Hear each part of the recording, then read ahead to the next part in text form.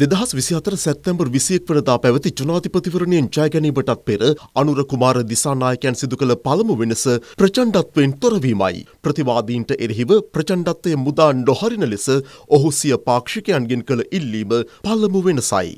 සිය ජයග්‍රහණය පිළිබඳ නිලපුවත දැනුම් දෙන හමුවට මැතිවරණ කොමිසමට පැමිණි ආකාරයෙන්ම ඔහු තවත් වෙනසක් ඇති කළේය. පිරිවරාගත් පිරිවරින් තොරව පැමිණි ඔහු වැල්වටාරම් නැති කෙටි ඇමතුමකින් ජනතාව ආමන්ත්‍රණය කළේය.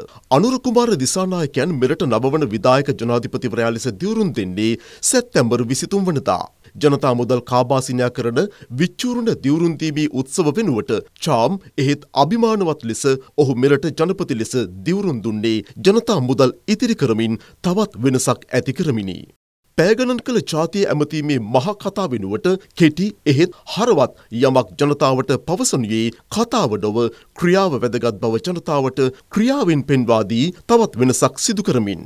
ජනපති ඇතුළු සමස්ත අමාත්‍ය මණ්ඩලයම තුන් දෙනෙකුට සීමා කළ යුගයක් මීට පෙර තිබුණේද. ඒ වෙනස ඇති කළේ අනුර කුමාර දිසානායකයි. මුළු පාලක පක්ෂයේම මන්ත්‍රීවරුන් ඇමතිවරුන් රාජ්‍ය ඇමතිවරුන් නියෝච්‍ය ඇමතිවරුන් බවට පත් වූ ඉතිහාසයක් අත්දැකීමක් ඇති ශ්‍රී ලංකයේ ජනතාවට මෙතරම් වෙනසක් තවත් කොයින්ද. ඉන් ඉතිරි කළ මුදල කොතෙක් දැයි කිව යුතු නැත. හිටපු මැති ඇමතිවරුන් නිලධහරින් භාවිත කළ යළි බහරදුන් වාහන තොගයෙන්ම එම වෙනස පෙනෙයි. ජග සංවිධානය මෙන්ම රට රටවල රාජ්‍යනායකයන්ගේ සුභපැතුම් පිළිගත් ඔහු යහපත් සමාජයක් බිහිකිරීමට අවශ්‍ය සහය ඉල්ලා සිටියේ රාජ්‍ය තාන්ත්‍රිකයන් හමුවේ ප්‍රතිපත්ති පාවා නොදීමෙන් මෙන්ම මෙම සබඳතා ජනතා යහපතට යොදා ගැනීමේ වෙනස ඇති කරමින්. රජයකට රටක් තනිවම නගා සිටුවිය නොහැකි. ඒ සඳහා රාජ්‍ය සේවකයන් අවශ්‍යයි. කාර්යක්ෂම ජනතාවාදී රාජ්‍ය සේවයක් නිර්මාණය කිරීමට කැපවන රාජ්‍ය සේවකයන් වෙනුවෙන් පෙනී සිටින බව පැවසූ ජනපති පාස්කු ඉරිදා වින්දිතයන්ට යුක්තිය සහ සාධාරණය ඉටු කරන බවටද සහතික වුණා. යහපත් සමාජයක් සඳහා විනයගරුක පුරවැසියන් අත්‍යවශ්‍ය සාධකයක් වනවා.